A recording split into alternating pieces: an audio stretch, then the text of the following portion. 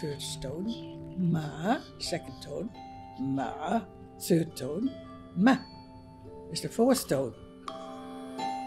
My name is Madelon Harland. When I was 91, I really started learning Chinese properly. Uh, well, I was born in Indonesia, which was a multi- multicultural society, in 1928. And I saw all these golden red letters there, you know, they looked so beautiful.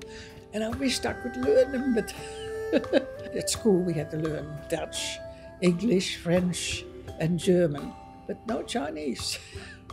I was just desperate to learn it. Every year, Monash Council sends us little booklets for elderly people how we can how they can amuse us. And then one day I was in the library and there was this Chat group at Glen Waverley.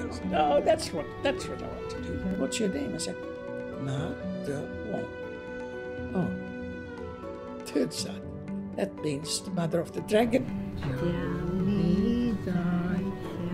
I tried to learn as much as I could from what I learned the week before, pages and pages of writing mainly.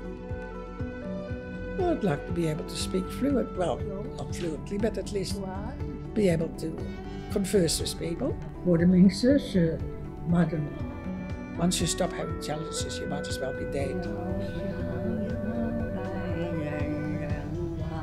It takes us about 12 years to learn our own language at school. I'm trying to cram 12 years into one or two, I think.